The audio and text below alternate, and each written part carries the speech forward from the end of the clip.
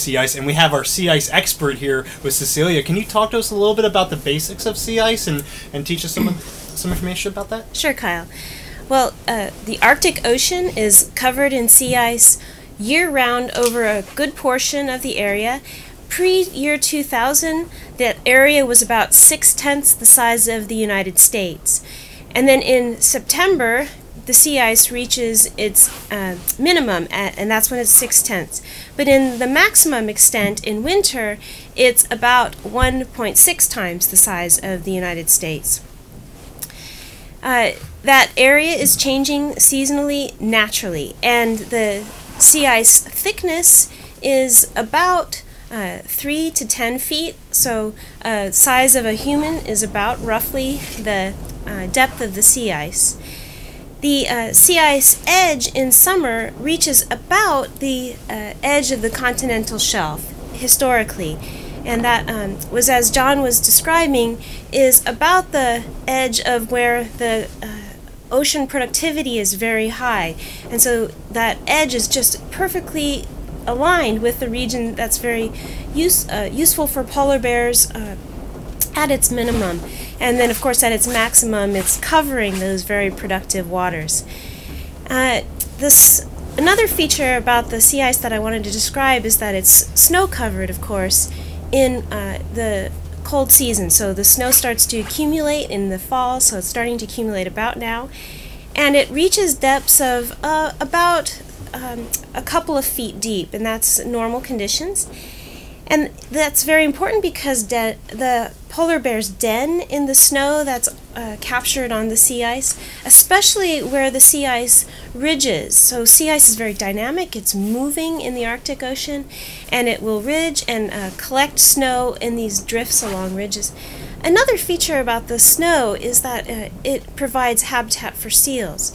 Seals need the snow depths to be a few feet as well in um, the springtime especially so that they can create caves. And in these caves they have their young.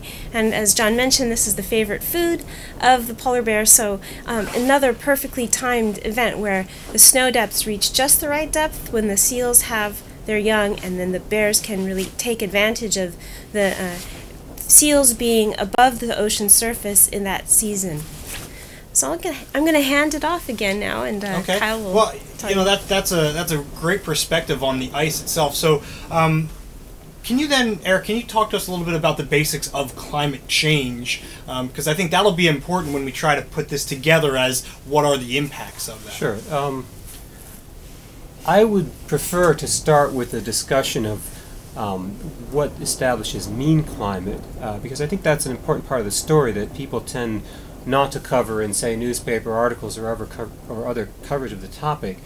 Um, I'd say starting in about the beginning of the 1800s, scientists started to think kind of seriously and critically uh, about the question of what determines the mean temperature of a planet. You forget about climate where you happen to live or in a particular location on that on that planet, but in general, we know that we live on a pretty nice planet, and uh, it has a very um, congenial climate for supporting life and supporting for supporting us. And you could ask, well, what factors are what are the factors that determine the climate of the planet and make it hospitable to us? Uh, so when people started thinking about this, they realized pretty quickly that uh, to understand the mean climate of, of, a, of a planet, uh, you're really asking the question about how energy comes into that planet and how energy uh, leaves the planet in order to cool the planet. So you might think that, well, in order to have a habitable planet, you'd want it to be a certain distance from the sun, because that way you'd get just the right amount of sunlight, because it's the sunlight that provides the energy that warms the world and makes it habitable. But of course, if you really want to understand temperature, you have to understand not only how the heat energy gets comes into the system, but you also have to understand how the heat energy leaves the system. And in the case of the Earth, what we know is that uh, energy leaves the Earth by the radiation of infrared radiation, which depends on the temperature of the planet. And therefore, when the planet is warm, it emits more infrared radiation, and that cools it off, and so we reach an equilibrium temperature for the planet. The issue, uh, and one thing I could say about that um, um, before we get into a discussion of climate change, is that uh, in order to understand how much energy is leaving the planet, you need to know the concentration of greenhouse gases in the atmosphere. You need to also know what those greenhouse gases are. The most important greenhouse gas for the mean climate of the planet is water vapor. Uh, and that water vapor has a trapping effect uh, and it, it, it, it, reduces the amount of infrared radiation leaving the planet and therefore it causes a warming of the planet. It's not just water vapor, carbon dioxide is also a very important greenhouse gas. Uh, and the, the, the combination of greenhouse gases in the atmosphere is sufficient to warm the mean climate of the planet by something like 33 degrees cent centigrade. So what that means is that without those greenhouse gases, we wouldn't be able to live on Earth because you wouldn't be able to have uh, unfrozen water. And of course, if all the water on Earth froze, then you'd see a really icy, shiny surface, and that would reflect back even more radiation, sunlight to space, and that would cool the planet uh, in addition. So greenhouse gases are good, but the issue is that too much of a good thing is not a good thing. Um, and if you look at the concentration of carbon dioxide in the atmosphere, uh, and we can do this because we have ice cores that show us what the carbon dioxide concentration has been going back at least hundreds of thousands of years. Uh, and pre-industrial concentrations of carbon dioxide are something like 270 parts per million. Today's level of carbon dioxide is more like uh, 390 parts per million. So we've gone right up. We've really shot up on the amount of carbon dioxide there is in the atmosphere. Is and there a way you could explain that to give that perspective of, of that number change? Uh, well, um, Sorry, asking questions from the You know, viewers. I think, uh, uh, and Cecilia might be able to help me out with this. I think in a in an ice age cycle, you might see a difference of carbon. Di- you might see carbon dioxide ranging from maybe 180, 190 parts per million to 270 parts per million, and that ice age cycle takes place over from the maximum temperature to the minimum temperature takes place over something like. Uh, 20,000 years, I think. It's Two- been yeah, yeah. it's been 20,000 years since the last uh, big ice, big big deep freeze. Um, so that's a couple tens of thousands of years to go from 190 to 270 parts per million. Over the last, say, 100 years, we've gone from maybe 270 to 390 parts per million. So more than what you would expect over a 20,000 year period, something like that. So it's a really big change, and it's happening really fast. It's happening at a speed that it would not naturally be able to occur at. Um, and going along with that, we do see increases in the temperature of the Earth. Uh, over the 20th century, the temperature of the Earth has increased by something like um, eight tenths of a degree Celsius. That's in uh, roughly 100 years. Uh, to give you some perspective, an ice age cycle has a temperature change of about 5 degrees Celsius. So one fifth of an ice age cycle occurring hmm. over the space of a century, that's what our climate record shows us. If you look at projections of how climate is likely to change over the 20th century, we're looking at maybe another 2 degrees Celsius change. So if you add that up, you're at something like, you know, 50% to maybe two thirds of an ice age cycle happening over the course of two centuries. Two centuries instead of 20,000 years, something like that. So it's big. It, it really is a big difference in the in the climate of the Earth. Uh, you know, that since we've what we've experienced over, say, you know, the time period when um, people have been living, you know, uh, uh, the, the, the, the, Industrial age. industrial revolution, um, and, and Mhm. even you know, over the period in which human civilization has existed on Earth. Interesting. And thank you for the question. Here's a little reminder. If you do have questions, because we understand that these are complex topics, we encourage you to ask those. You can, again, submit those to questions at pbears.org, or again, submit those in the chat window, because we're going to have a little bit of time coming up so that we can answer those questions. Um, thank you for the explanation, Eric, of, of climate change. So let's let's bring this back full circle, kind of where we started. How does climate change impact the sea ice? That's my first question, kind of for Cecilia. And then after you answer that, Cecilia, maybe John, you can get into okay, if it makes those impacts on sea ice, therefore there's definitely a chain of consequences for the polar bears that live here. Right. Well, we've been observing the sea ice quite accurately from space, from satellites, for the last 33 years. And that record shows us a very steep decline, especially in September, so during the summer season. it's declined by about uh, 33%, so about 1% per, dec- uh, per year or 10% per decade. Now, the last six years have all uh, been the lowest six years on record. So, uh, the two that shattered the record, two years that shattered the record previously were 2007, and then again this year, 2012, is now the lowest year ever. And now, as I mentioned earlier, it used to be that we had the minimum extent of the sea ice reaching just roughly the continental edge, and now it's much, much less than that. So we're exposing huge areas of the Arctic Ocean that had never been exposed before this century. Uh, as far as we know, when we had ships in the Arctic prior to the satellite records, pretty obvious that those areas were not open. And they're um, quite a long ways from the continental shelf, those very productive waters, so that pushes the ice edge and the polar bears that remain on the sea ice far into these very low productivity waters.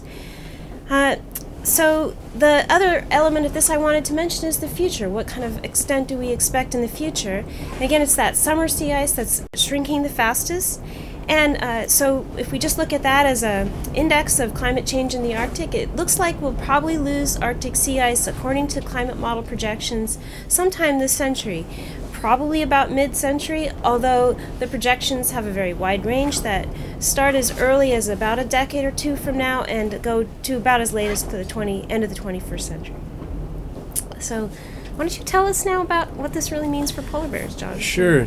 You know, so there's a couple there's a couple problems with trying to understand uh, what's happening with polar bears right now and what's going to happen in the future. It's estimated that the current world population, like I said, is around 20 to 25,000 polar bears. Um, but what we don't know is in a lot of places of the Arctic exactly how many polar bears are there now and how many were there, say, 10 or 20 years ago. And that's because the Arctic is just generally very inaccessible. It's very hard to do work there. So, for example, in a lot of places in the Arctic, such as northern Russia, um, there's a lot of polar bears there. We, we know that there's a fair amount of them, but we don't know exactly how many, and we don't have historical records to be able to point to.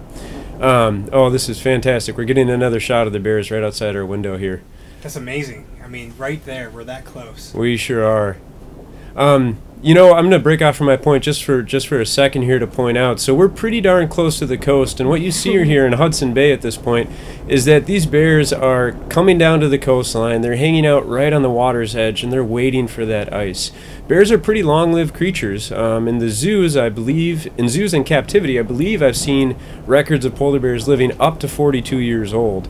Um, but in the wild, you're probably not going to see a male or a female for that for that matter that's going to be much older than 25, possibly 30 years. I believe that the females would probably live a little bit longer in the wild. So a lot of these bears, so bears live quite a long time, and they have a good memory. So they have been through this process before. They've been through the annual loss of sea ice. They've been through its return. So they know that sea ice is coming back. So that's why they've come down here to the coast. They're waiting for that ice to come back because they're more at home on the ice than anywhere else. So they're very excited to get back out there and you can even see them being real active. We were talking about this earlier today. You would suspect that because they're on shore and they don't have any seals to eat, they might just want to lay around and conserve their energy. But you know, it seems that they know that ice is coming back. They know that they're going to have a meal coming up soon, so that's what they're waiting for. Um, but as I was saying before, there's a lot of places in the Arctic where we don't have a good uh, sense of historical records of the population number. There are a couple places where we do, and here in western Hudson Bay is the few, one of the few places where we really do know how many bears there were 20 years ago, 30 years ago, and we know that this population has seen a substantial decline, over 20%. And we also know that that is uh, very closely correlated with the loss of sea ice in this part of the Arctic. So where we do have records, the record suggests a strong correlation between the loss of sea ice and a polar bear population decline. In other places in the Arctic, everything we look at about a about polar bear ecology, about their evolution, about their physiology, it all points to a very strong relationship in which bears need sea ice to hunt the seals. And they need that sea ice to be where the seals are. They need it to be over the continental shelves, they need it to be over productive water. So when we look at the loss of sea ice around the Arctic, we can say with a fair amount of certainty that as we lose that sea ice, we're going to lose those bears because we don't think they can make a living any other way other than beat out on the sea ice. Thank you very much. And these these images, um, I think, really help to paint that story as the folks have been seeing, um, mm-hmm. as you guys have been talking. So, um, of course, sometimes the message can come across dire, but there are definite ways that we can help. In fact, we know um, that the human connection is so important, right? That this is all uh, tied together and even uh, woven together. So, what are some ways that we could help? And maybe, John, you could get us started. Um, to share with people, yes, they, these are the realities of the situation. However, we know that you can make an impact, and by spreading awareness, uh, what what could they do? So, on you know these kind of considerations about the future and what's going to happen and uh, what's the potential to actually make a difference at this point, I'm actually really optimistic because I think we're seeing a big change across society right now. It wasn't that long ago that talking about uh, polar bear conservation, talking about climate change, talking about the loss of sea ice, it was a little bit more of a specialist issue, or it wasn't as well understood. It wasn't um, known to really be a mainstream concern. And these days, I really think it is. Now, there's a lot that has to happen in the future. We have a long ways to go, but we can't even get started on it until everybody is at least thinking about it. So, in that regard, I'm pretty optimistic and happy to say that it seems to me more and more people are becoming aware of the the fact that there are consequences to this really carbon intensive lifestyle that uh, modern society generally leads, and um, more aware of uh, the opportunity to make choices to mitigate some of those consequences. So that's uh, that's kind of my starting point for being optimistic about the future.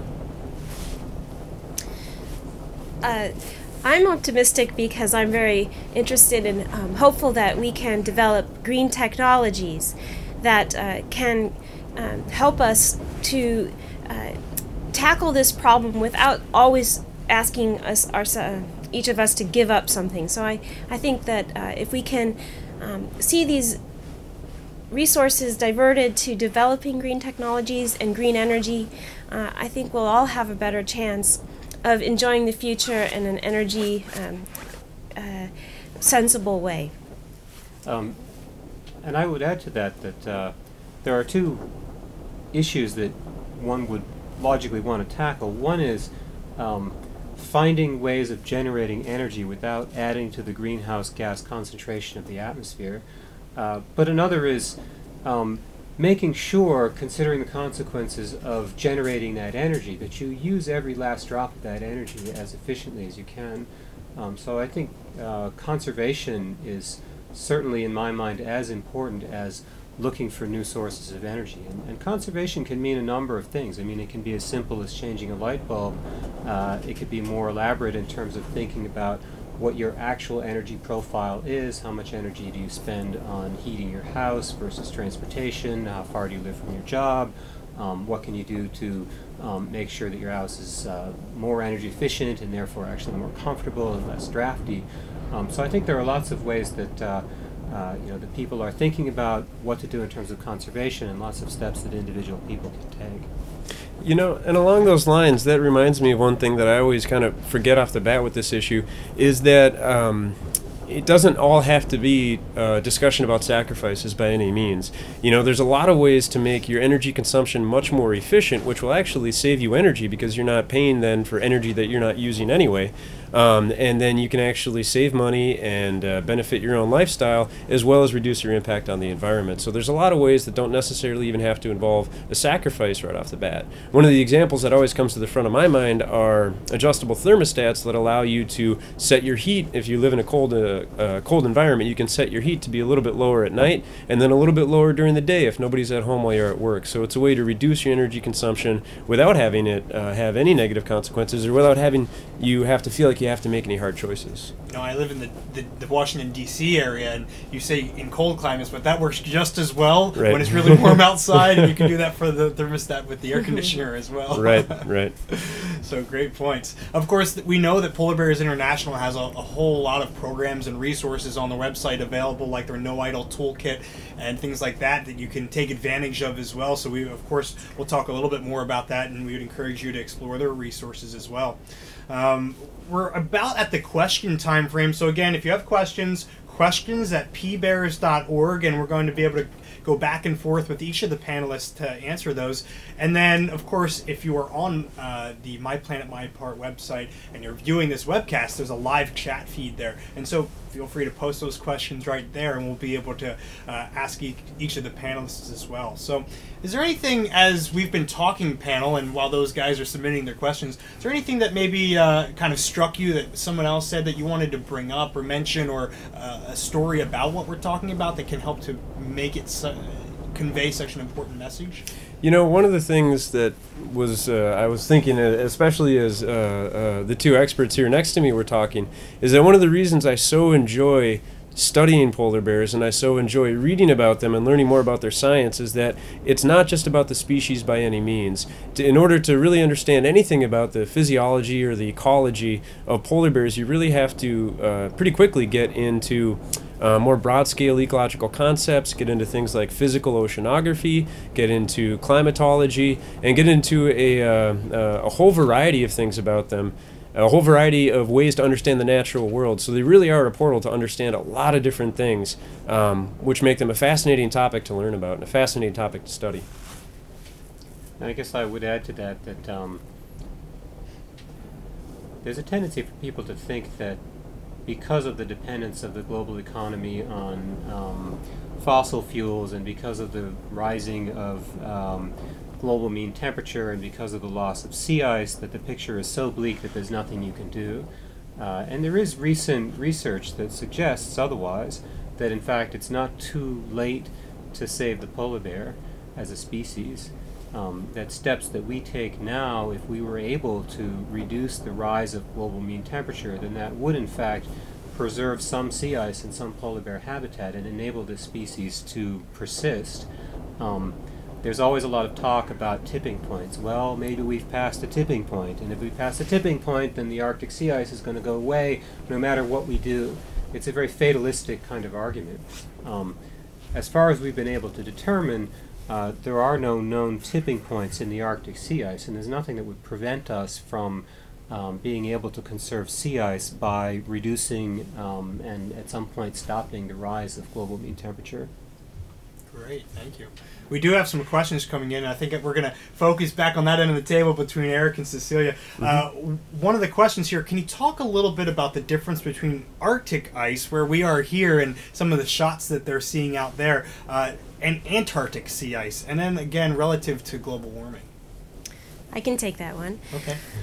Well, uh, the Antarctic is a little bit distinct from the Arctic in that most of the sea ice, much more of the sea ice there is seasonal. So it almost all melts away in summer, and that's just normal. It has been like that as long as we know. Uh, another really interesting difference between the Arctic and the Antarctic is that Antarctic sea ice is not decreasing in extent. Uh, in fact, it's increasing and uh, probably even significantly so over the last uh, 33 years, the satellite era that I mentioned earlier. And that's a puzzle in some ways for climate research because you'd think, well, global warming will have roughly the same effect on both poles, but there are many other reasons why it might not be quite that simple. One is that there's ozone depletion, and it actually does have a small climate impact in the Antarctic. And the Antarctic uh, Ocean is geometri- geometrically is very different. It's a continent surrounded by ocean, whereas the Arctic Ocean is an ocean surrounded by continents. The Southern Ocean is in, um, in much lower latitudes relative to the Arctic, and uh, the sea ice there is further equatorward. It's under roaring winds, just dynamically much more active and the ocean mixes more deeply there, so you might expect warming to be slower. Um, so, do you want to add anything, Eric? I'm this. I, I wouldn't want to pretend that this is my area of expertise, but I guess the one thing that sort of always fascinated me about the Arctic is, um, as I understand it, if you go underneath the surface of the ocean uh, at depth, there is actually warm water down there. Yes. And what you could ask is if there's warm water in the ocean below the surface, then why is there ice in the Arctic that can persist for five or even ten years on the surface? And uh, the answer to that, as I understand it, is that the Arctic surface waters are very fresh. And you realize that, well, fresh water weighs less than salty water, and so there's this layer of fresh water, and it's separating the ice on top from the warm water underneath. And that to me is just a fascinating idea that if all of, if you were to sort of mix if, if, if the waters of the Arctic were well mixed, you might not see sea ice that persists for many years because the surface would be warmed by this current of you know water coming in at depth that's actually warm. So the the intricacy, the, the, the, the, the number of things that all come together to produce this Arctic sea ice climate that's so essential for polar bears and that they've evolved to, um, it's really a fascinating subject. For sure. Great. We have another question here on the bears topic. Um, knowing that that uh, their time that they're eating, you know, is getting pulled per- further and further apart, and you can speak better than I can on this. Um, but what is it that they're being forced to perhaps try to survive on while they're in this environment during warmer months? Guessing that's Um, John. Sure, I have some answers for that.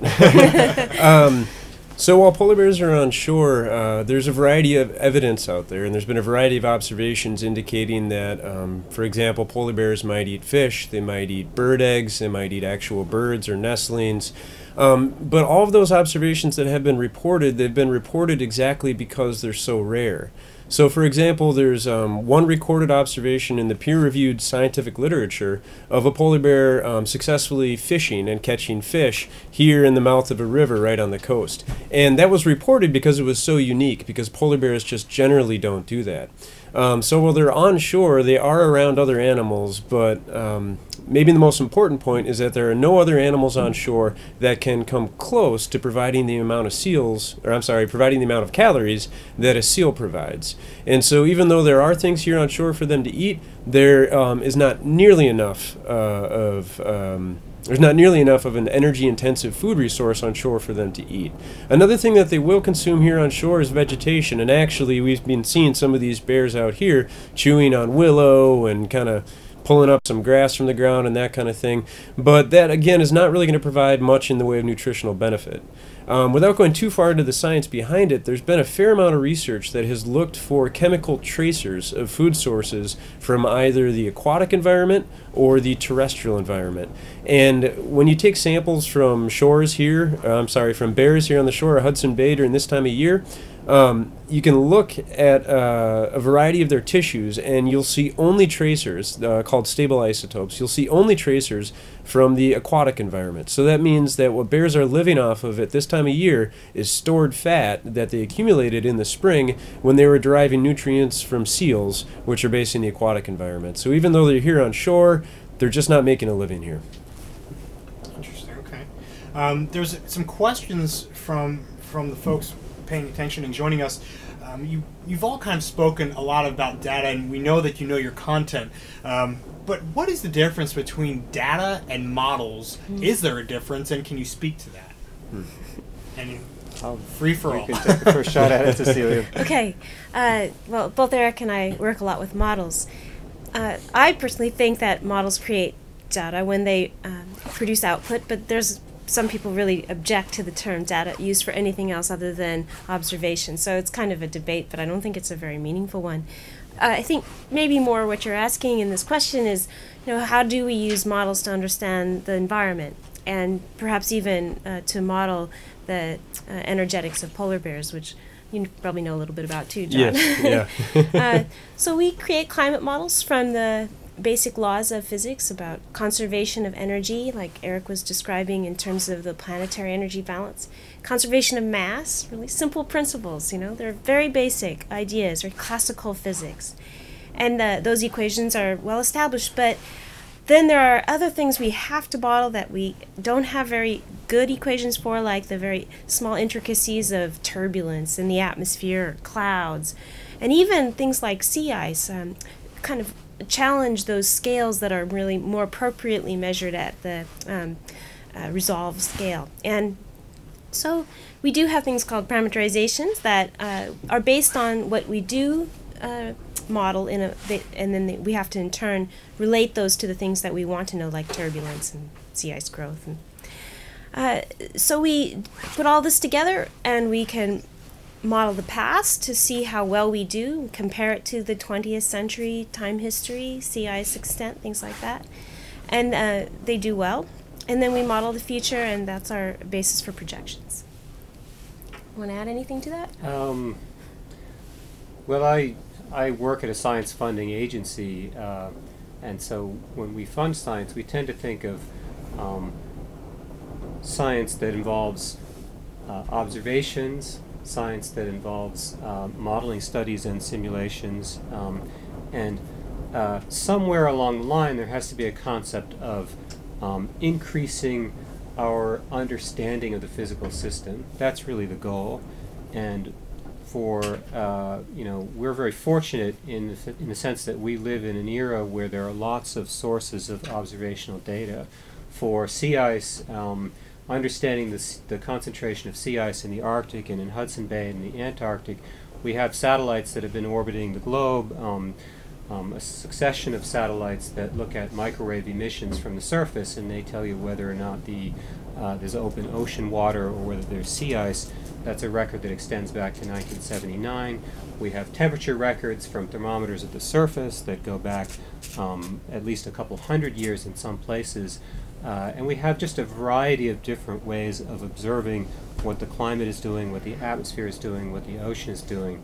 Um, but understanding the system is more than just observing it. To understand the system uh, using a scientific method, you use your observations to formulate hypotheses. And you can use observations to test hypotheses, but it turns out that models are an excellent way of testing hypotheses because you can take your understanding of the physical laws of nature that you think are operating in the system, the most important physical processes, things like that, you can make a model of those processes.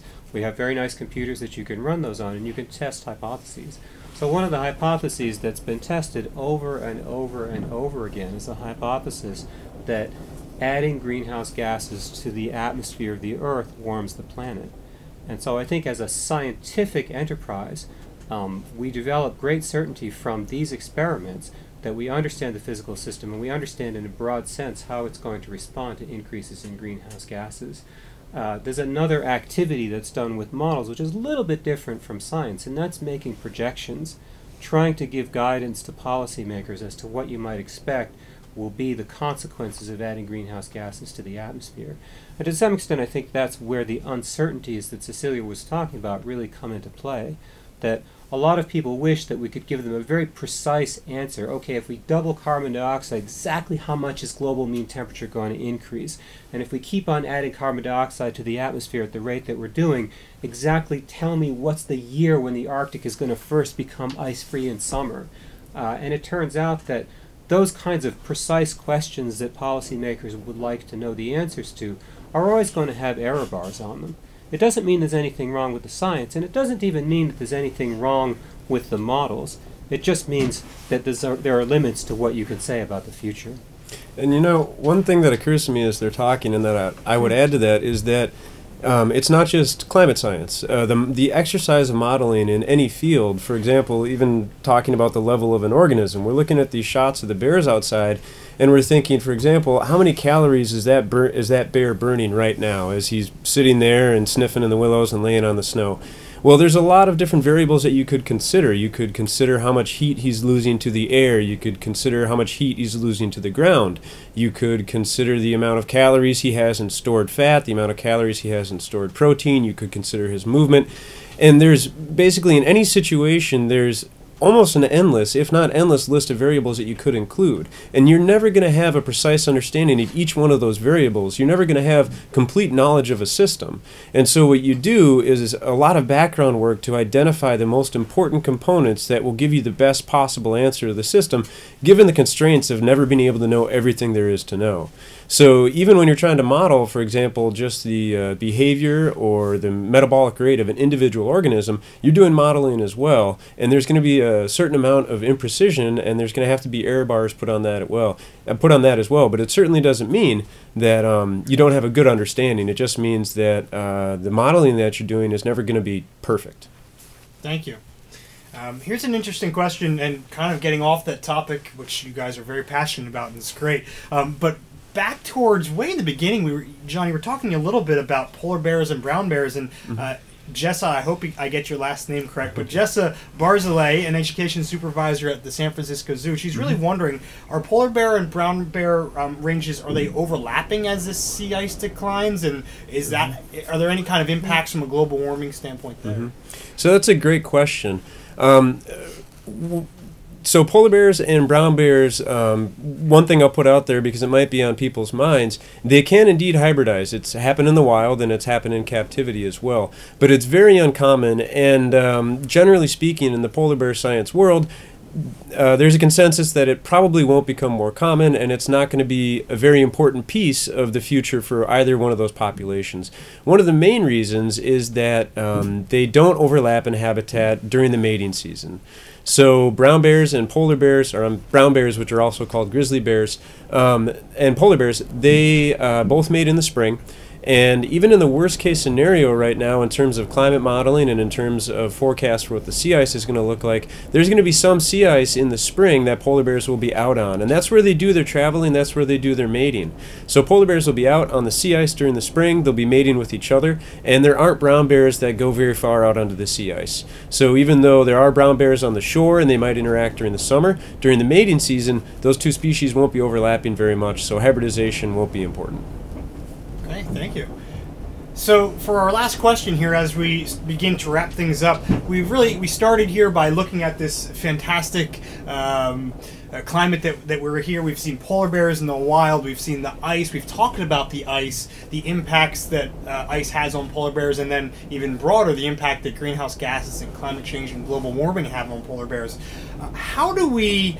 Uh, here's a great question. How do we, or how do each of you as a panel, convey the sense of urgency about this topic because it's very important and we want people to know about it, um, but without uh, making there a sense of no hope where there's nothing that can be done at all.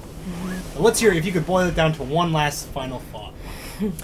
Are you? Do you have a choice of panelists you'd like Free for all to? again. I have one that comes to mind right away. okay. And that is a lot of the things that um, have been expressed here today really indicate that in a lot of ways it's it's a fairly simple equation. Polar bears are truly dependent on sea ice for hunting seals, and the sea ice is truly dependent upon the climate.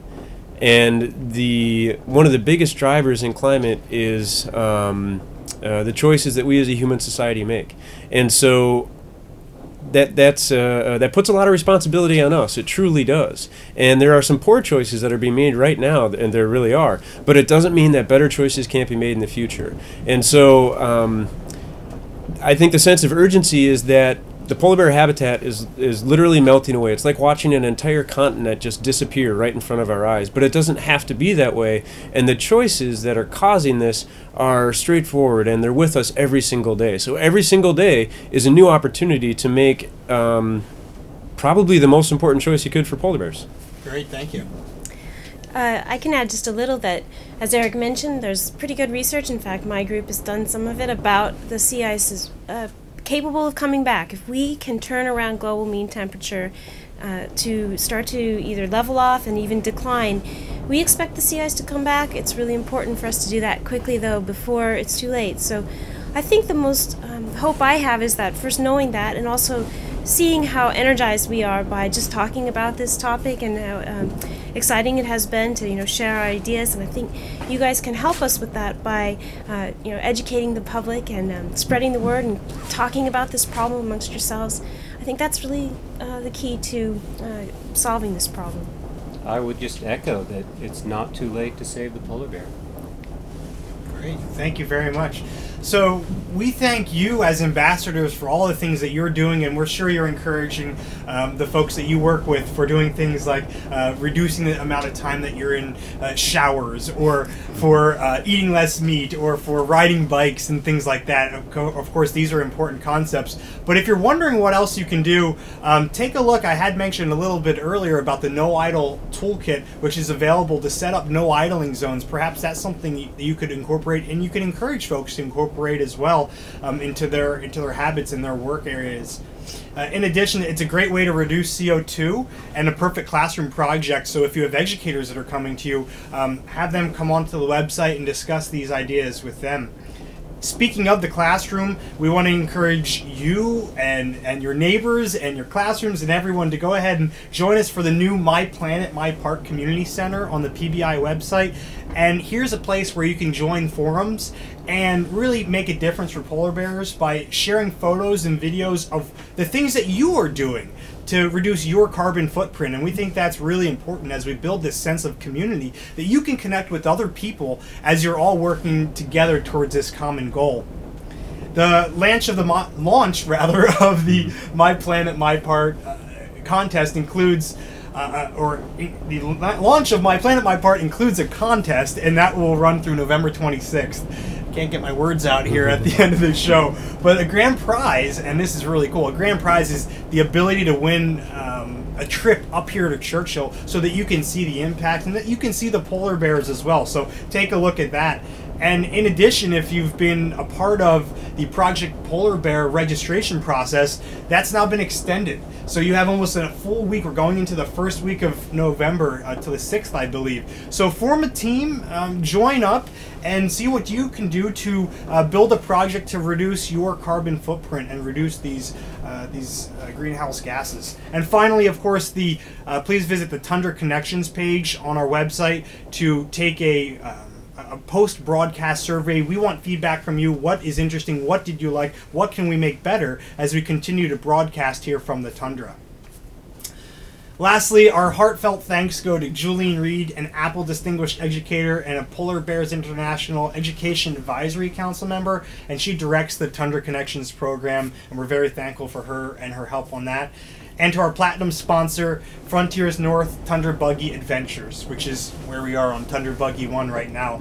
Support has also been provided by Pearls of the Planet, a project of Explore.org, a direct charitable activity of the Annenberg Foundation, and we're grateful to Parks Canada and Tandberg, now part of Cisco Systems. So thank you so much for taking time out of your day. This is, as you can tell from our panelists, we think it's a very important topic, but we really know that you guys are the key players here and you make a difference, and the things you do as ambassadors can really help. So thank you for asking your questions, and thank you, panelists, for all of the work that you're doing and being able to relay this information to our group. Thank you. Certainly. Thank you for watching. Yeah. Take care, everyone. Thank you so much. Bye now. Bye bye.